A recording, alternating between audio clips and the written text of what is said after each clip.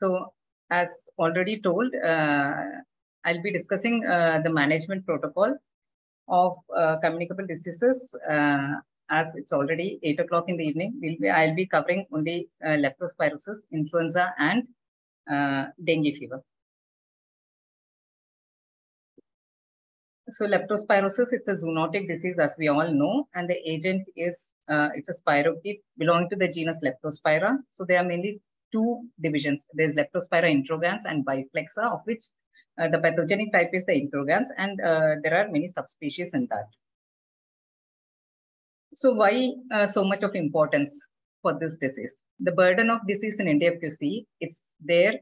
Uh, seen uh, this disease as such, it's seen in the tropical and subtropical areas. In India, it's more common in Andaman and Nicobar. Gujarat, four districts are affected around the coastal area.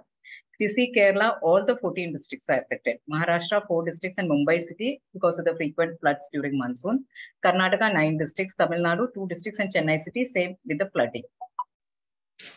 So this is uh, uh, data of Kannur uh, in the past uh, three years, that is uh, including 2023 up to the month of June. So our peak numbers will be coming only after June. So if we take the census of uh, by September, October, we'll definitely see an increase in number of cases. So if you see 2023 data itself, uh, by June, we have already got 11 confirmed cases. These are the confirmed cases and probable cases are 25. And there may be so many unreported cases also. So definitely the number of cases are increasing and compared to previous years, the number is definitely uh, more. So this is uh, the epidemiological triad. If you see, uh, the, it's a zoonotic disease. So seen in animals, animals are the reservoirs. So mainly rats, but also in domestic animals, it's seen. And through the urine, uh, the spirochete is excreted and an alkaline soil and is a correct uh, environment for the spirochete to grow. And exposure to human beings is whenever they are having any abrasion and they are uh, going in this contaminated water, this spirochete enters and causes the various manifestations. So the high-risk groups in, involve agriculture workers, animal handlers, vets, slaughterhouse workers, research workers, sewage workers, and flood-affected areas.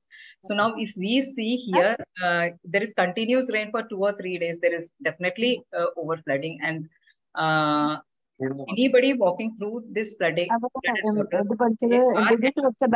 waters, uh, this infection, if it is contaminated. So if you see the clinical features, incubation period is 5 to 14 days, but it can range from 2 to 30 days. And the case fatality rate is 0 to 15 percentage. So clinically, if you see, uh, we have anictric leptospirosis, icteric leptospirosis, and severe leptospirosis. Anictric leptospirosis, as the name suggests itself, there is no jaundice. So it's a milder form of the disease. Patients have fever, myalgia, and almost 90% of patients have this type of illness. Then icteric phase, that is severe form of the disease characterized by jaundice. And usually it's associated involvement of other organs. And about 5 to 10 percentage of the patients have this type of manifestation. Severe, there is hemorrhagic manifestations, acute renal failure, acute respiratory failure, and multi-organ failure in the form of myocarditis, pancreatitis, uh, liver failure. So at this point, I would like to uh, say uh, among the case fatality, and uh, especially over the previous year death audit and all, what we have seen is the common cause of mortality in leptospirosis is either myocarditis or uh, acute respiratory distress syndrome and uh, also alveolar hemorrhage. Uh, this is uh, the case of a 49 year old male. Actually, he's admitted at DH now. So his history was he had at the time of admission, that was he was admitted three days back. His, uh, he had fever seven one week back for two days, and that was associated with severe myalgia. And uh, uh, following discoloration of urine, he came for admission, and that time he also had headache, which is bilateral frontal. So at the time of fever, the treatment what he had taken was only paracetamol. But there was a history of uh, taking single uh, dose of aceclofenac tablet that was over-the-counter medication. Uh, he sent somebody to the medical shop and bought this NSAID because of severe myalgia. He had taken single tablet. And this was his investigation at the time of uh, admission, which was done from outside, a hemoglobin of 12.2, total count of 7,200. Platelet was 42,000. Uh, creatinine was normal. And his bilirubin levels were 8.2, uh, 6.3, uh, total bilirubin 8.2 and uh, SGPT was 75.2. Urine, there was no cast. And after two days of admission, his bilirubin started coming down and uh, platelet count improved. And we had sent an, uh, this is the confirmatory test which we do. Uh, we do it from Regional Public Health Lab, the IgM ELISA test uh, for leptospirosis. And if it is positive, that is the uh, case which we take as confirmed case and we report in IDSP. So this came as a confirmed leptospirosis. And another one more case is there. I couldn't uh, uh, get the details here because uh, yesterday we had referred that patient. This was also 55 year old male, came with a typical history of fever, myalgia. He was a construction worker. And when he came, his counts were around 10,000, platelet count was uh, 30,000, and he had hypotension. Uh, jaundice that time he didn't develop, but his creatinine value was 2. So because of hypotension, uh, the possibility of myocarditis was uh, thought and he was admitted in ICU. And uh, we started him on inotrope support. Fluid was given. His renal parameters improved. Uh, but yesterday morning, uh, he developed acute breathlessness. And uh, we did a, a, echo in which there was hypokinesia and he was uh, developing cardiac failure.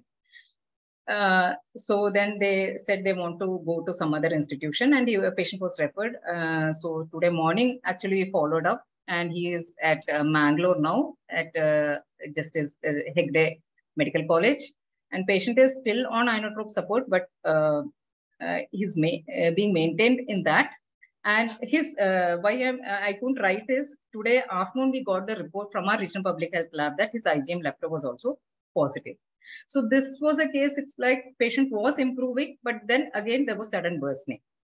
So these are the various possibilities uh, we can face while managing leptospirosis patients. So symptomatology of leptospirosis, initially there is fever, myalgia and headache. Myalgia, there is severe uh, muscle pain, especially in the calf muscle, thigh muscles, and even abdominal muscle pain. Some of the cases can present as an acute abdomen or because of the muscle pain, they have so much, uh, uh, it's, uh, it's almost like a state of pseudo paralysis is seen. Headache, usually bilateral frontal headache. Later on, patient can develop jaundice, oliguria, bleeding tendency, respiratory distress, cardiac failure, convulsions, and coma. So clinical findings, so uh, during this time, any patient coming with high-grade fever, muscle tenderness, especially calf and thigh, severe low backache, congestion of eyes, Later, they may develop subconjunctival hemorrhage, jaundice, hepatic, pulmonary, or renal involvement. We have to always think it as possible leptospirosis. Complications, it can occur in first week or usually it was a second week is what we see. Patient can have bleeding tendency, thrombocytopenia, liver failure, acute kidney injury. Acute respiratory distress is one of the dreaded complications because uh, this with alveolar hemorrhage, diffuse alveolar hemorrhage is one of the cause of uh, mortality. Then hypotension, myocarditis, pancreatitis, convulsions, and coma. Patient can even develop meningoencephalitis. The last case, what I said, the uh, one with myocarditis, the patient even had pancreatitis. Uh, amylase and lipase levels were also very high.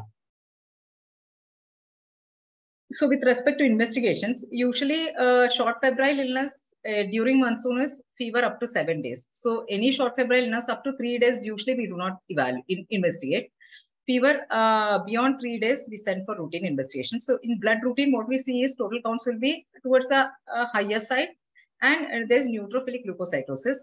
And urine routine, uh, when we say, send, they'll have granular cast. Some of them may have proteinuria and pus cells. At this point, I would like to stress on uh, uh, stress with respect to urine routine examination is we see some of the patients uh, they see uh, there is pus cells around 10 to 15. And patient is started on an antibiotic for urinary infections like cefixime or nitrofurantoin, thinking it as UTI. But the patient doesn't have any uh, symptoms of urinary tract infection. So we should be very careful during this uh, monsoon when we see uh, we uh, urine report with pus cells plenty, and there's no features of any urinary tract infection, just with fever and myalgia, possibility of leptospirosis has to be considered. And lepto PCR uh, test, uh, it is being done now at Regional Public Health Lab. This has to be sent in the initial stages, uh, days of the infection. So within five days, if we send, there's more chances of a positive result. After three days, there is mild to moderate thrombocytopenia. So with respect to thrombocytopenia, uh, with uh, leptospirosis and dengue fever, leptospirosis in the initial stages of the fever itself, we can get thrombocytopenia. Uh, while in dengue, what we usually see is once the fever starts subsiding, there is thrombocytopenia. Then increase in serum bilirubin with disproportionate lower elevation of the liver enzymes, SGPT and SGOT. So usually the bilirubin levels will be high while the OTPT will be elevated, but usually less than 500, though we have seen some cases can reach up to 1000 also. There is increased blood urea and serum creatinine, which is features of acute kidney involvement. Uh, it could be because of acute nephritis, pre-renal failure, when the patient develops hypotension. Increased CPK levels, there is uh, involvement, uh, severe muscle pain could be because of myositis. Increased serum amylase and lipase levels usually when the patient is having pancreatitis. That also uh, with the typical symptoms, patient will have severe abdominal pain when we palpate, there'll be severe tenderness, not that of myalgia, but as such deep tenderness will be there. So such patients we can send serum amylase and lipase. Uh, just I would like to ask, uh, am I too fast? Should I reduce my speed? Anybody can respond, please. No, no, you're okay. Okay, okay, thank you. Okay. Uh, so uh, the confirmatory test, like how is after seven days of fever, if you send an IgM ELISA uh, and it comes as positive, uh, that is the confirmatory test. This is uh, more or less for uh, our documentation and for epidemiological surveillance purpose. So suppose now what happens is the antibody based test will be positive only after seven days. So if you send it early and it is negative, but clinically, if we suspect leptospirosis, that has to be managed as leptospirosis, even though the tests are negative. So symptoms of fever, severe, severe myalgia, with a routine blood investigation suggestive of a leptospira picture, even though uh, most of the time what happens is the card test of IgM lepto is done on second and third day of fever. So definitely it will be negative. So that doesn't mean the patient doesn't have infection. It has to be treated. So treatment, uh, first three days may be treated as OP if vital signs are stable. And if the patient is available for follow-up, specific treatment what we give is doxycycline 100 mg BD for seven days. For children over two years, doxycycline 5 mg per kg per day divided uh, BD, that is 12 hourly for seven days. Below two years, either amoxicillin 50 mg per kg per day divided 8 hourly or azithromycin 10 mg per kg per day for five days can be given. Now, toxic patients with red flag signs and organ dysfunction, they need parenteral antibiotics and they have to be admitted. So the drug of choice, even now, it is crystalline penicillin. We give 20 lakh units, uh, six hourly for seven days. If patient is having allergic to uh, crystalline penicillin, we can try ceftriaxone, even though even that uh, they can have cross uh, reactivity, they can have an uh, allergy to even ceftriaxone. If not allergic, we can give ceftriaxone 1 to 2 gram BD for 7 days. For children, the dose is crystalline penicillin 3 to 4 lakh per kg per day, again divided in Q6 daily, or ceftriaxone uh, in this dose. Now, those who are allergic to uh, crystalline penicillin and ceftriaxone, we can give injection doxycycline. It's usually given as 200 milligram IV loading dose followed by 100 milligram BD for seven days. Or azithromycin can be given 500 milligram IV OD for five days. Now, the role of steroids in leptospirosis is severe leptospirosis with multi-organ failure. A pulse steroid of single dose of injection methylprednisolone 1 gram IV can be given. So what are the red flag signs? There is no response to antibiotics in hours. Usually, uh, leptospirosis, as soon as we start antibiotics, there is an immediate response in most of the symptomatology. Respiratory rate of more than 24 per minute, urine output less than 20 ml per hour, a blood pressure of less than 100 millimeters systolic, tachycardia out of proportion to fever, we have to suspect myocarditis, flapping tremor, it could be because of uremia, altered sensorium, hemorrhagic manifestations. So these are the red flag signs. Uh, so For all the slides, if we want to remember one, I would like everybody to remember this single slide because these are the things which we have to look for in patients coming with fever in our OPD. And if it is there, early referral is very important. So prevention uh, is wear protective clothing, cover skin lesions with waterproof dressings, don't wade or swim in potentially contaminated water, wash or shower after potential exposure, consume clean drinking water, don't touch sick or dead animals, clean your wounds. And if we say with respect to wounds, even uh, during rainy season, especially, uh, the patients have this intertrigo between the uh, web space. Actually, that intertrigo itself is enough for these spirochetes to enter and cause the infection. Next is uh, prophylaxis. So this is the guidelines for prophylaxis. If there is no contact with flood waters, muddy, polluted water, dead, sick animals, there is no risk, there's no need for prophylaxis.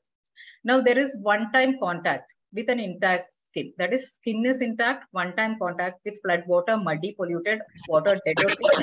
It is a low-risk exposure. We have to give doxycycline 200 milligram once weekly for two consecutive weeks. So in low risk exposure, that is one time contact with an intact skin, doxycycline prophylaxis is 200 milligram once weekly for two weeks. A continuing contact, that is like uh, agricultural worker, they are going uh, daily. So with an intact skin, it is moderate risk. You have to give doxycycline 200 milligram once a week, as long as exposure continues. But uh, preferably up to six to eight weeks is what is recommended. Beyond that, uh, it's better to take a gap then any contact with flood water, um, uh, contaminated water, and there is wounds, cuts, or open lesions, it is high risk exposure. So in such people, we have to give doxycycline 100 milligram BD for five days and followed by weekly prophylaxis as long as the exposure continues. So this is with respect to chemoprophylaxis for, uh, uh, for leptospirosis. Now, special situations, pregnant and lactating mothers, doxycycline is contraindicated. We can give azithromycin 500 milligram once a week. In children 2 to 12 years, doxycycline 4 milligram per kg body weight once weekly. Children less than 2 years, azithromycin 10 mg per kg body weight once a week. So that is with respect to leptospirosis. Uh, the only thing uh, what I would like to stress with respect to leptospirosis is uh, this is one infection which has got a specific treatment. So it's extremely important uh, that we recognize and uh, any probable case of leptospirosis, if treatment initiated early, definitely uh, the outcome is better and we can reduce mortality. And we have to avoid NSAIDs. That is extremely important. Not only leptospirosis, any fever case, uh, it's always better to avoid NSAIDs. So next is influenza. I think I'll finish my presentation and then uh, I will take questions. That's okay, Dr. Latha. Uh, so influenza, uh, when influenza virus, which normally circulates in swine, is detected in a person, it's called a variant influenza virus. So we have H1N1, H1N2, H3N2. These are the major subtypes of swine influenza A virus. In pigs and occasionally it infects humans, usually after direct or indirect exposure to pig or contaminated environments. So these are uh, the number of cases of uh, influenza uh, reported. So these are the cases which has been reported with a positive swab test that's why the number is very low. But we have influenza-like illnesses, uh, I think for the past uh, one month, definitely most of the cases are coming as influenza-like illness only. But uh, these are the documented cases. That's why we have these few numbers. So what is influenza-like illness? A fever of more than 100 degree with an upper respiratory symptoms, cough, sore throat, headache, body ache, fatigue, diarrhea, and vomiting. So most of the recent infections, respiratory infections, what we see is uh, can be categorized as influenza-like illness. So category A is mild fever plus cough or sore throat with or without body ache. Headache, they may have diarrhea and vomiting. So that is category A. Category B, again, we have B1 and B2. B1 is a fever which is higher grade and a severe sore throat. Or B2 is mild fever itself, but with underlying comorbidities or a pregnant woman, underlying diseases on long-term steroids, children with mild illness but with predisposing risk factors, uh, maybe with an immunodeficiency disorders, age more than 65 years. So these uh, uh, comorbidities is one thing which is uh, universally we have to see in all cases of fever. That is, any case of fever, the mortality is seen among people with these comorbidities. So category C is patient developing breathlessness, chest pain, drowsiness, fall in blood pressure, hemoptysis, cyanosis. Or children with influenza-like illness with red flag signs. So in children, the red flag signs are somnolence, high or persistent fever, inability to feed well, convulsions, dyspnea, respiratory distress, and worsening of underlying chronic conditions, especially if you see COPD patients. Uh, who develop influenza-like illness, they uh, can be an exacerbation. Patient can go into respiratory failure. So uh, with respect to H1N1 testing, category A, no testing is needed. Category B also no testing is needed. Category C test may be done but we need not wait for the results. That is important because this testing is only for our surveillance process and all. By the time the result comes, uh, the outcome is already there for the patient. And specimen should be dispatched through DMO or DSO and never sent as parcels or directly through bystanders. And we have three testing centers, one in Trivandrum, Alappuzha, and Manipal, it is being sent. Now the management, uh, category A, influenza-like illness, there is no oseltamivir, uh, oseltamivir is not needed. Symptomatic treatment, good supportive measures, plenty of warm, nourishing oral fluids, good food intake, complete rest, monitor the progress. We have to reassess at 24 to 48 hours, self-isolation at home, and telephone follow-up for next two to three days, like how we did during the time of COVID pandemic. Any suggestion of deterioration or failure to improve, they have to report in person. Category B, again, home isolation, but oseltamivir is started.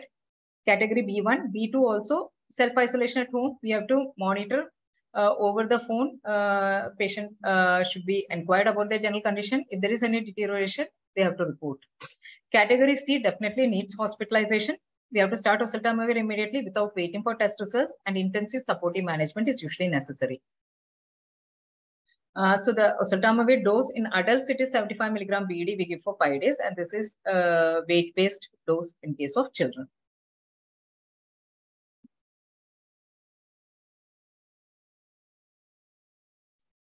Chemoprophylaxis, as such, no mass contact prophylaxis is advised. If at all we are giving, it is given uh, as by weight for chemoprophylaxis, similar as we are giving as an adult dose, but only once daily it is given for 10 days.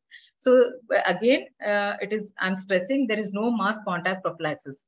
Only with high risk patients, contact with the uh, influenza-like illness or documented influenza-like illness, patient with pregnancy or other comorbidities, only in such patients we can give Others, what we have to do is we have to assess, follow up, and once they develop the symptoms, we categorize them as A, B, and C and manage accordingly.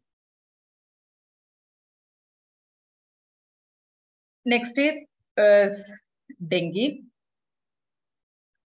It's a viral infection uh, caused by the virus under the genus Flaviviridae. It's an uh, it's an arthropod-borne infection. So we have a vector. The vector here is mosquito. Aedes mosquito uh, virus is an RNA virus, single stranded. So there are four dengue virus serotypes, one, three, and four.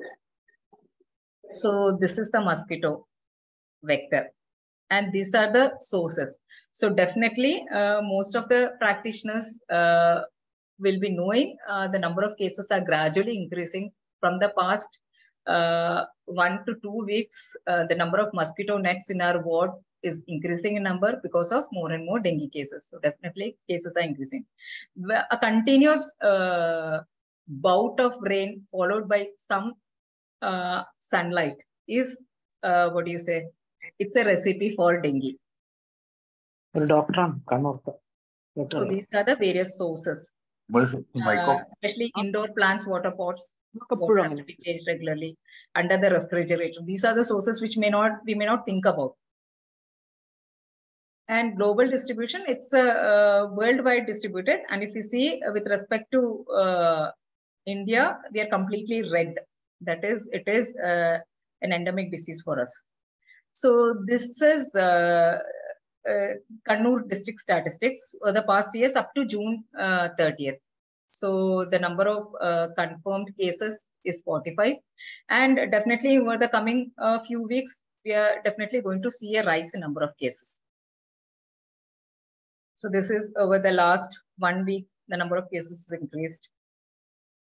Uh, this, I don't think it's very clear. It is actually the erythematous rash, which is uh, seen as a rim of the stethoscope. This from our patient only.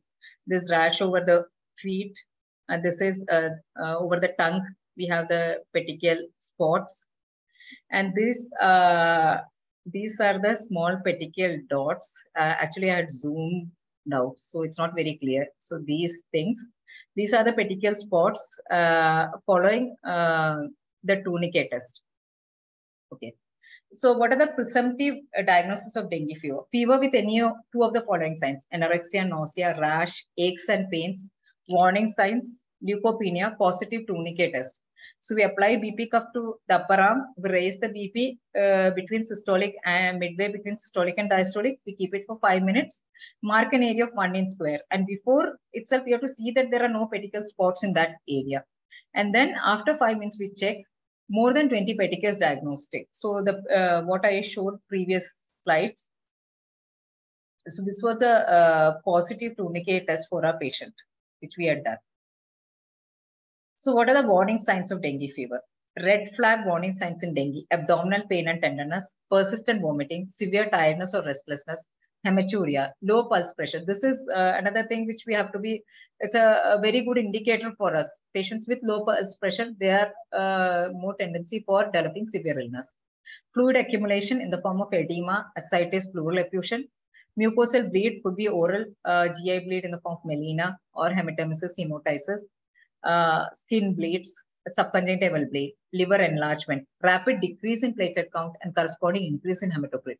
So when we are monitoring, if a patient's platelet count is 1 lakh today, by tomorrow it becomes 50,000, rapid reduction in uh, numbers with a rise in hematocrit and rise in hemoglobin values, definitely it indicates that this uh, patient has chances of uh, going into worsening of the disease. So what is dengue hemorrhagic fever is dengue fever with the hemorrhagic tendencies in the form of positive tourniquet test, petechia, ecchymosis, purpura, bleeding from mucosa, thrombocytopenia, platelet count of less than 1 lakh, evidence of plasma leakage in the form of rise in hematocrit, uh, hemoglobin. Or following fluid replacement, the, there is fall in hematocrit. These are signs of plasma leakage, and then patient can develop periorbital edema. All these are signs of plasma leakage, pleural effusion, ascites.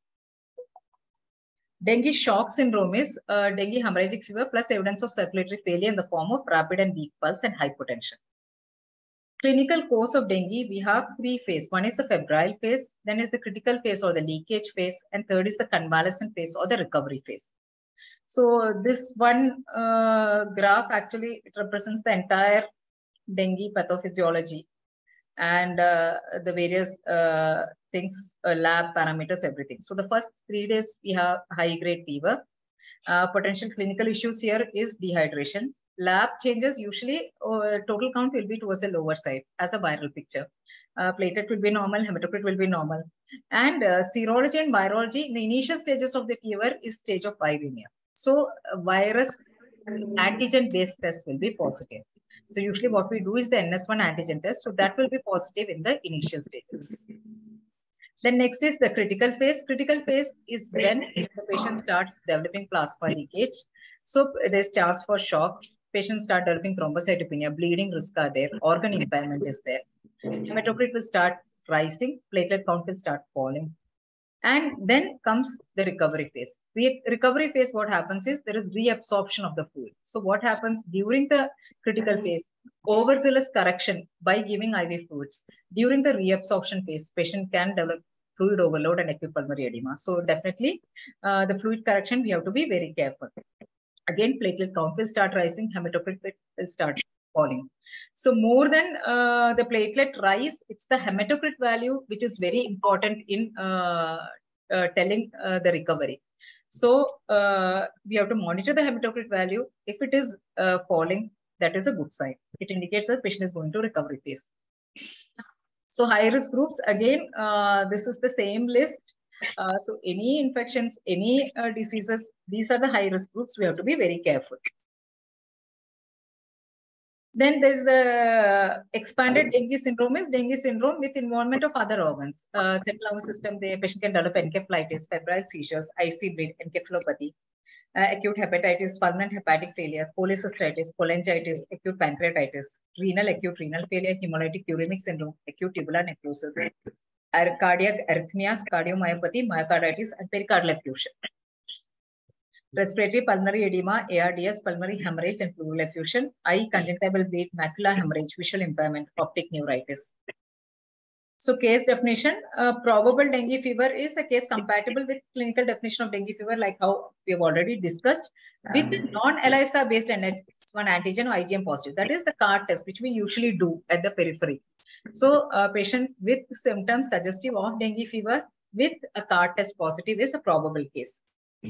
Confirmed cases, same, compatible with clinical definition with isolation of virus or NS1 ELISA test or IgM ELISA test or IgG seroconversion paired sera, there is a rise in titer, fourfold increase in titer or detection of viral nucleic acid by PCR. So the antigen based test, again, I would like to uh, stress on this antigen based test should be done in the initial part of the uh, fever. So any patient coming with fever, we need not do NS1 antigen, IgM, uh, all the tests together because if NS1 is positive, IgM positivity will take at least one week. So in the early part, we do an antigen-based test. After seven days, we go for an antibody-based test. Again, viral nucleic acid by PCR should be done in the early stage, first five days of fever. So diagnosis is ELISA-based NS1 antigen, IgM ELISA, isolation of virus, or PCR. Now we can categorize. Categorization is again, it's only for uh, when we get lot of cases together in the community. This is for triaging and managing of the patients. So category A, there are no warning signs. Patient is able to drink adequately, pass urine at least once every six hours, maybe central. Investigations, only day three of fever, we do WBC count, platelet count, and repeat every third day. And platelet should be more than 1 lakh. Hematocrit, if testing available, we have to do. Then uh, uh, category B, they have warning signs, like which was discussed, uh, initial bleeding manifestations, abdominal pain, severe fever, and uh, all those warning signs there. Or group A with coexisting conditions, those all those with comorbidities or risk factors like pregnancy, intensive old age, which has been discussed. Such patients should be admitted in a tertiary care centers and investigations. We do uh, the complete blood count, hematocrit rise, more than 20 percentage and followed uh, fluid correction fall by 20 percentage it indicates that there is fluid leakage. So that is the investigation we do. Group c is the severe dengue with severe bleeding severe plasma leakage leading to dengue shock syndrome severe organ dysfunction. Such patients should be admitted in a tertiary care center. And we do other routine investigations with lft rft inr so with respect to management, group A, adequate bed rest, plenty of oral fluids, OR a solution of fruit juice or other fluids containing electrolytes, paracetamol up to 4 gram, uh, not frequent than 6 hour interval, tepid sponging. Again, do not give other NSAIDs including aspirin, monitoring, daily review, and educate the patient about warning signs. And ask them to review and admit as they go into group B. Group B, again, if patient is in all fever management, patients are they are not having any nausea, vomiting, they're able to take oral fluids, then uh, the first choice is oral fluids. If not tolerating, we go with IV fluids. Even though there is a, a recommendation like this, 5 to 7 ml per kg per hour for 1 to 2 hours, fluid therapy is individual based. So based on the comorbidities, the patient is having uh, underlying chronic kidney disease or patient is having severe LV dysfunction.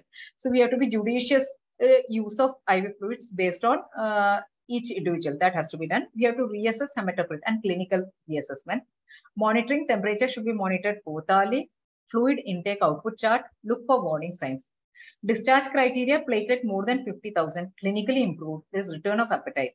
There's no improvement. We have to refer the patient to a tertiary care center. And group C, treatment of dengue hemorrhagic fever. Generally, platelet transfusions are not advisable in the absence of bleeding. But if there is no bleeding, a platelet count of less than 10,000, there may be a risk of spontaneous bleed, so platelet transfusion can be given. Similarly, in uh, patients who are having a rapid fall in platelet count also, platelet transfusion can be given. Or platelet count less than 50,000 with bleeding manifestations. Usually, platelet transfusion of 3 to 5 units of platelet-rich plasma per day or platelet concentrate in patients with high cardiovascular risk. Compensated shock, again, IV fluids 5 to 10 ml per kg per hour for first hour, then maintenance and all, it's based on the individual response. Hypotensive shock, more vigorous IV fluid administration is needed. Now, the criteria for discharge in dengue, patient is febrile for the, at least 48 hours. There is no respiratory distress, platelet count of more than 50,000, return of appetite, good urine output. And uh, after recovery from shock, minimum of two to three days, should be uh, patient should be admitted and visible clinical improvement. See, because what is going to happen is once the number of start cases start increasing, there will be panic among people. And uh, when uh, unnecessary admission increases, what happens is the needy patients, the number of beds may reduce. So if we follow this discharge criteria, uh, the needed patients uh, will definitely get more beds. Again, prevention, uh, one is prevent mosquito breeding. Second, prevent yourself uh, from getting mosquito bites. Uh, before ending, uh, just a few words on non-pharmacological general management of fevers, which is there uh, has to be universally used for all patients with fever.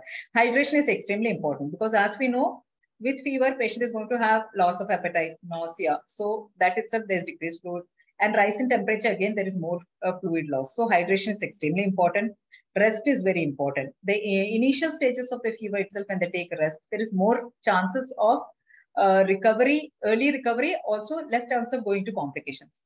Tepid sponging is important. Increase the body surface area being sponged as necessary. Cooling the forehead alone is not important, not enough.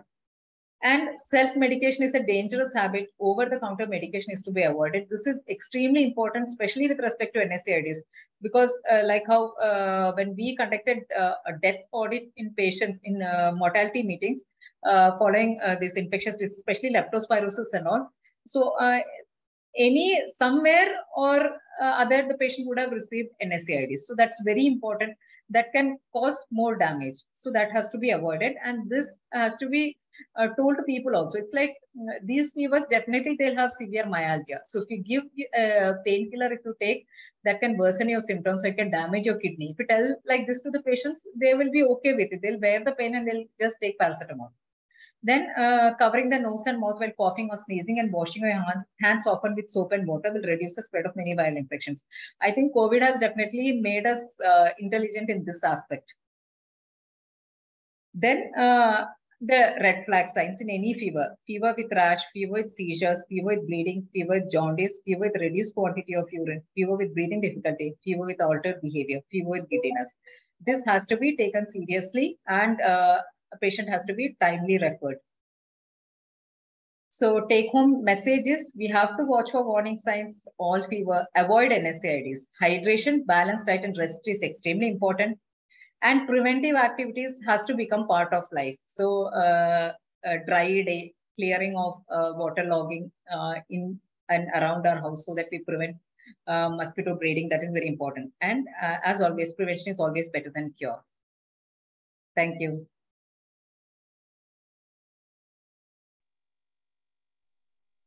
So Dr. Latha, uh, now we can take some questions, I think. Yes, ma'am. So anybody have any queries, please?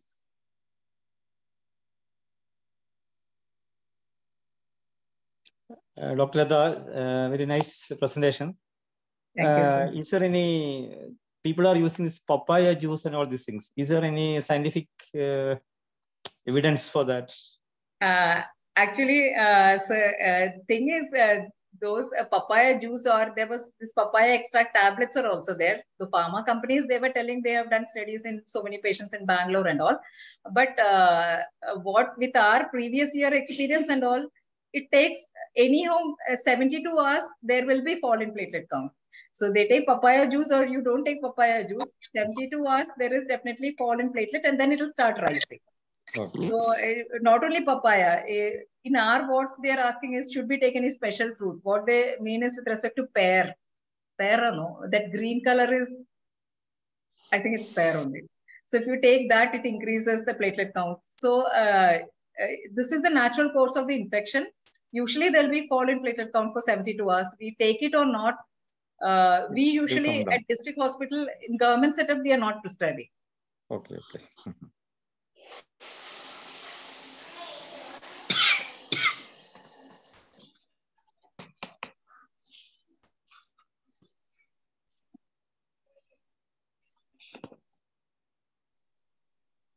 Regarding uh, leptospirosis, Dr. Latha, we Yes, were, uh, we ha- we had uh, some deaths in the early stages. I think uh, fourth or fifth day. Uh, recently, Yes, and yes. the presentation was ARD. Uh, I think cause of death was ARDS. Yes, maybe ma'am. following myocarditis. Yeah, Any- uh, mortality, um, uh, like how uh, even in the literature also what they say it's because of ARDS and myocarditis.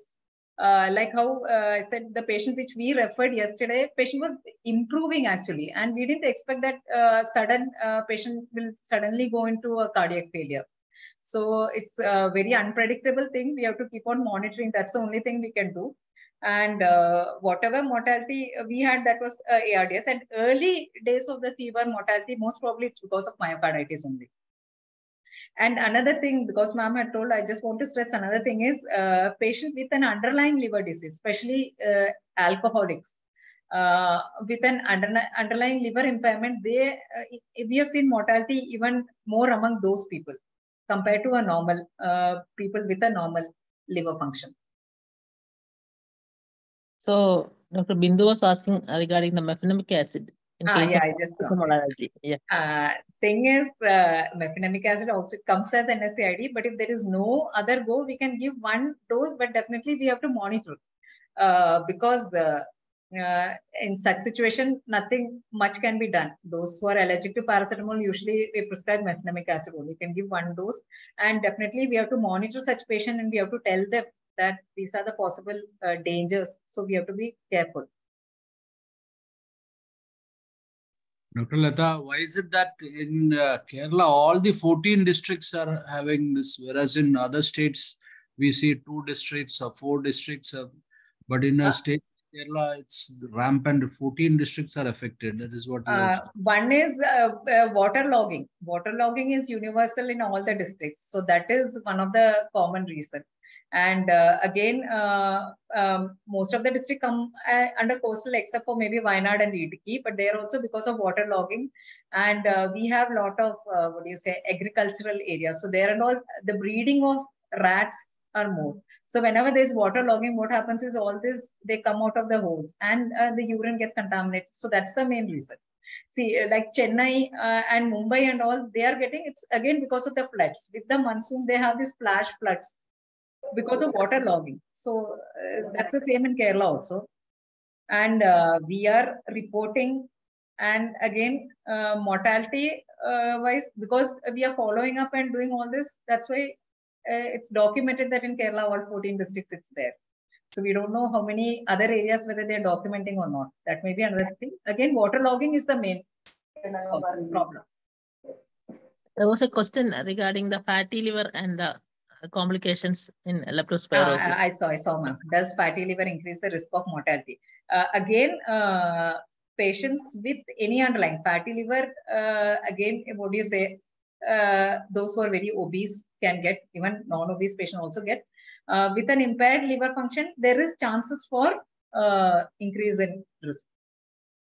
Though uh, we have what cases uh, with high mortality, what we have seen, I think two or three patients, it was alcoholic liver disease only. Then regarding the acute encephalitis syndrome, uh, in especially in influenza cases, there have been few deaths uh, more in the southern districts. We also had uh, a death recently. Anything to add, Dr. Latha? That was uh, that's more in uh, pediatric patients, I think, ma'am. Pediatric, uh, uh, uh, I think Shija madam's one talk was also there recent, um, maybe two or three days back on acute encephalitis syndrome in influenza. Adults, I'm not very sure about. It is uh, more uh, more uh, frequently reported in uh, children, I think. We also had we also had a death uh, in Pappinisseri area. It was Ah. a child was admitted in MIMS uh, Chala. Okay, that was uh, that uh, actually the onset of fever was uh, on 20th, I think, and on third day, child succumbed. Oh. That was a, the diagnosis was like an acute necrotizing encephalitis. Oh. Okay. So early uh, starting of oseltamivir. That is sus sus suspected cases. It's very important, I think. So anyone else with questions? Otherwise, Ma'am, please, there's one question. Please repeat dengue, confirmation of dengue. When is PCR? PCR is prepared in uh, the early stages of infection. So here what we do is when we send sample to regional public health lab uh, for NS1 antigen in the first five days of fever, that time only they do the test PCR also. Early stage, early days of the fever. After seven days, it's the antibody base. So it's the IgM dengue. And IgG test, uh, sometimes what happens is uh, when do when we do CAR test, IgG is positive. I just want to add because this question was asked. So IgG usually indicates that there was a previous infection. So in case of dengue, uh, there are there are four serotypes. So you can get a dengue infection four times. So person with a previous dengue infection, once you get second infection, there is more chance of uh, severe disease.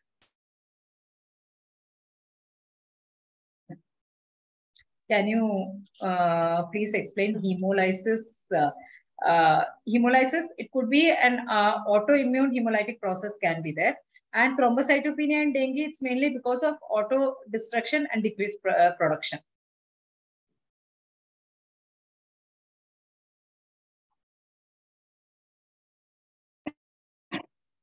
Uh, so, ma'am, this PCR test in dengue, it's uh, it's for NS1 antigen, right? Yeah, and we do the typing of the Oh. uh, virus, which type. Actually, our samples has been sent. We have not yet received uh, which type is there in this season. Usually, uh, there will be a major dominant type, like it could be a dengue one type or two type strain. So, which is the one in this season? Uh, we have actually sent the test. Uh, results are not yet available. We have to okay. we have to rece receive the res results yet. We'll be contacting the state public health lab and we'll try to get the results, Dr. Latha. should we stop aspirin for those who are taking it and when can we restart again uh, it is a thing which has to be uh, done in a balanced way usually up to 50000 platelet uh, we don't stop antiplatelets which we are taking antiplatelet uh, as uh, we should not give aspirin as an analgesic in high dose that should not be used that is a no but those with an underlying coronary artery disease like recent stenting so stopping is going to cause more damage. Then we have to be uh, careful, monitor, and uh, give antiplatelets accordingly. When do antibodies come down and disappear in dengue? Usually, the antibodies will be there. IgM it may be there up to three months. Then later on becomes IgG. It's the antigen which is there in the initial stages. Hello, what all preventive measures you can take? In Regard- case of sir, yes.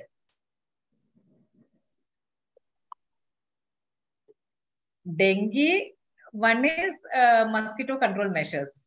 Yeah. Second, prevent yourself from getting mosquito bites.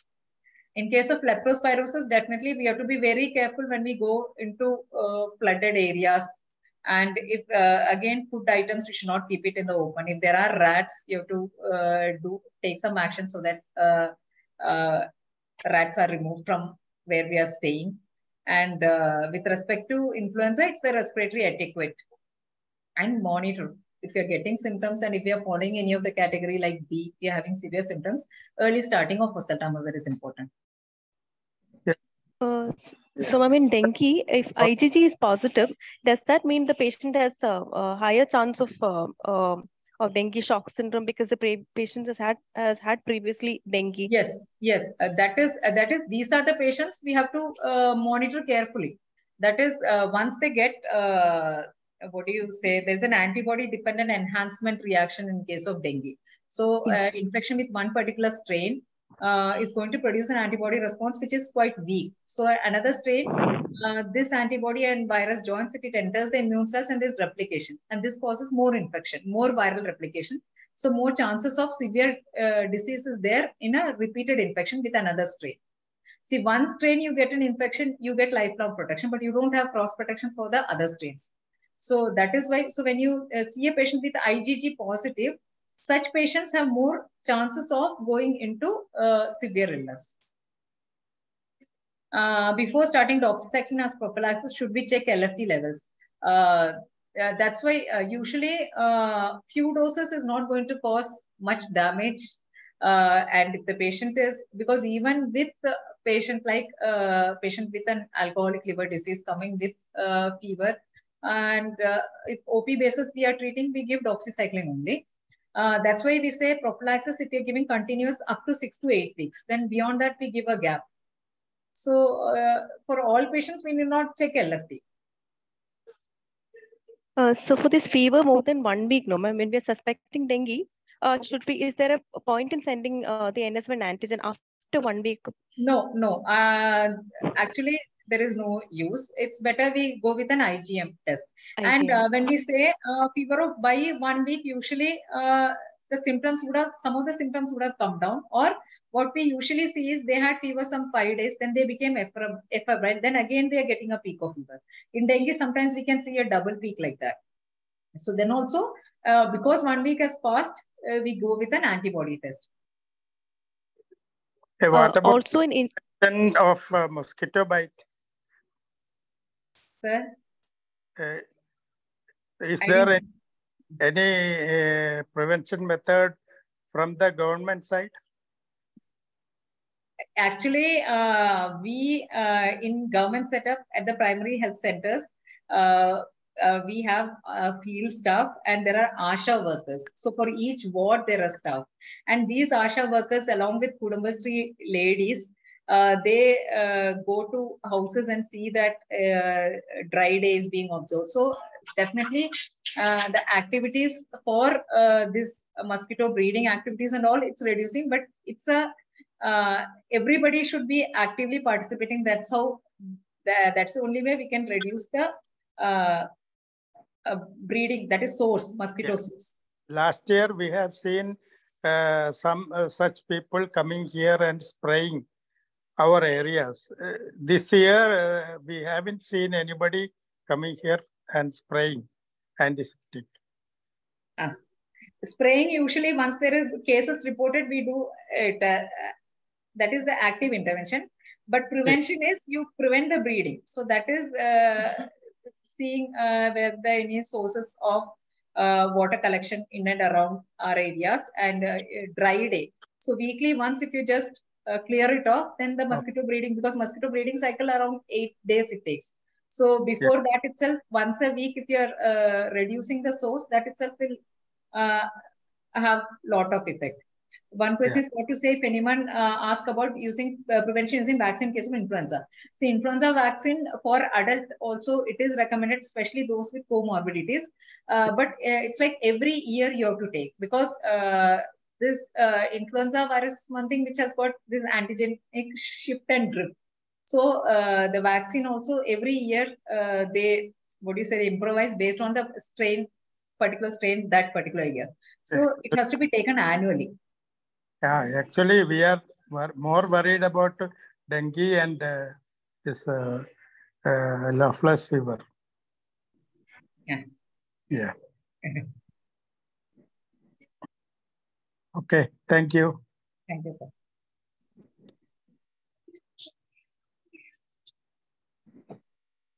Uh, ma'am, also in this fever, Yeah.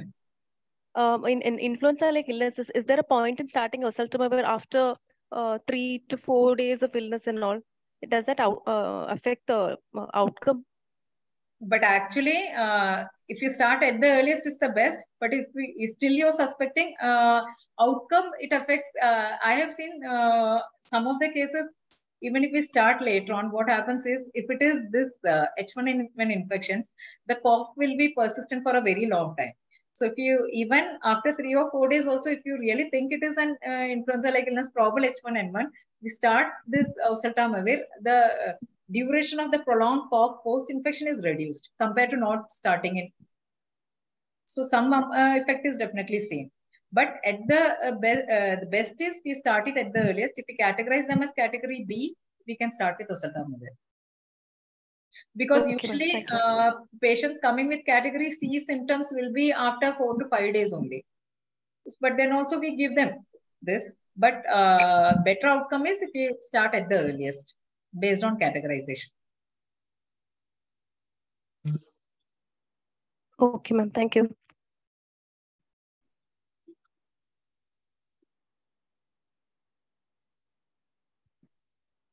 Any more questions?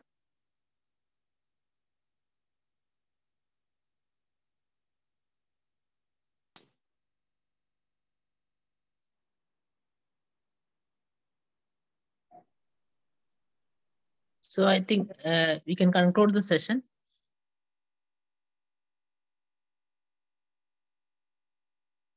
Dr. Latha, there is one more question regarding the safety of oseltamivir in pregnancy. Yes, definitely. We have to, it is safe and we are giving. Um, all pregnant ladies with influenza-like illness, we have to start oseltamivir at the earliest because uh, uh, H1N infection has got high mortality in case of pregnancy. So uh, it has to be started the earliest. We uh, because all pregnant ladies with influenza-like illness, even mild influenza-like illness, is category uh, B2. So uh, we have to start oseltamivir influenza vaccine in pregnancy, uh, we monitor uh, live vaccines. Usually, we don't recommend.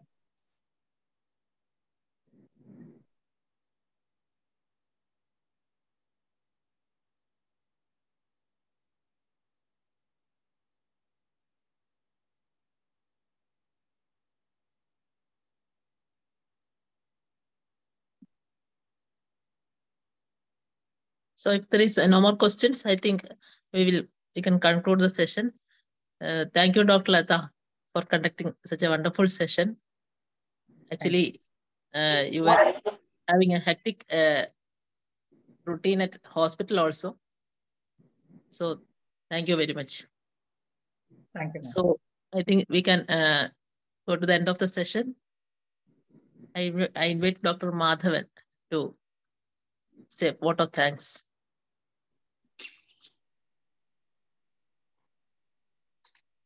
Good evening, all of you.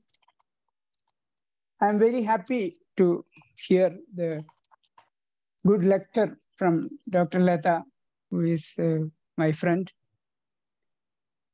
I congratulate DMO office and uh, district medical officer and uh, deputy medical officer Griffin for arranging such a nice talk maybe with the participation we can do more such uh, uh, such uh, topics.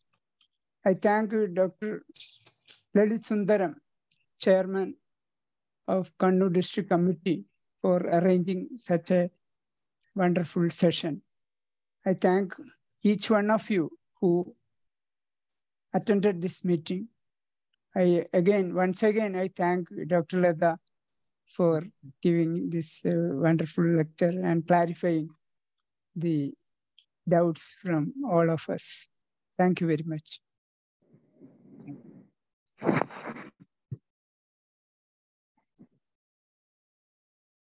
Okay, madam. Okay, the meeting close here, ma'am. Okay, thank you. Good night. Good night. Thank you, thank you, Dr. Latha. Thank you, madam. Thank you. Thank you. Good night. Thank all. you. Thank you. Thank you, Griffin. Okay, Good night.